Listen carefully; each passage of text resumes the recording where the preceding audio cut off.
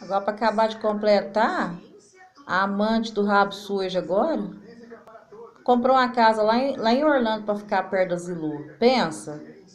É, essa aí gosta da Zilu mesmo, hein? É, até querendo ficar perto da Zilu.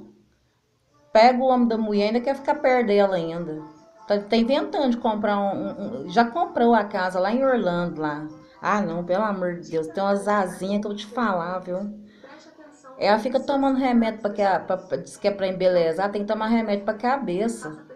Tem que tomar remédio para melhorar a cabeça dela, que eu acho que ela, cabeça doida, foi roubar um, um casa, pegar um casado das mulheres. Se fosse antigamente, antigamente, quando eu era pequena, nossa senhora, mulher toda, toda casa, tinha um litro de pimenta, diz a, diz a minha mãe que era para. Vocês sabem, né? Vocês sabem o que acontecia, né? Negócio de pimenta. Agora ela tem uns dois, uns dois metros só de vidro de remédio para beber.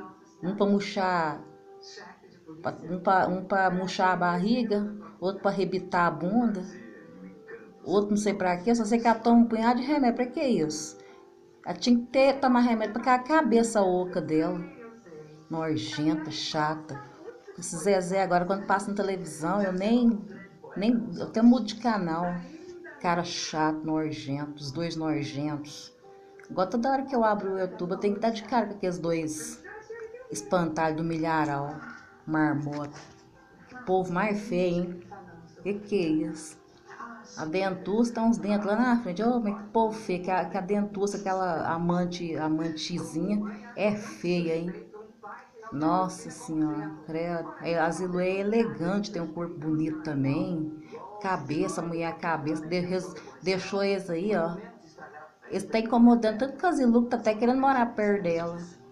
O tanto que a, a, a amante é nojenta, rabo sujo. Ela vai pegar uma depressão no final das contas e vai perder tudo. A amante nojenta. Ladrona de, de homem casado.